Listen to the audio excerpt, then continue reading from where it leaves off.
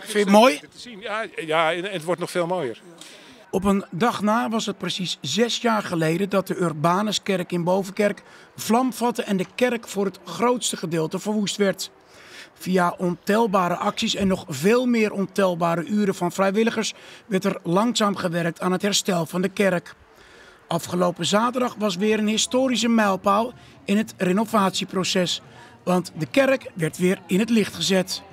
Zo'n 200 belangstellenden verzamelden zich rond de kerk om letterlijk het licht te zien.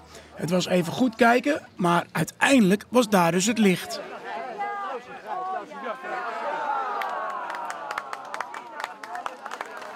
Door, uh, door wat uh, problemen bij de toeleverancier, uh, privéproblemen, waren we niet in staat om het op tijd rond te krijgen. Maar dat heb ik hier net ook gezegd.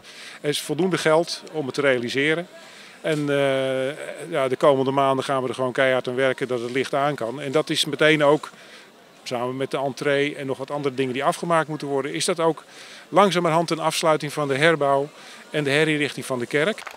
En dan kan er dus vol vertrouwen worden uitgekeken naar de viering van het 150-jarig bestaan van de Bovenkerkse Urbanus.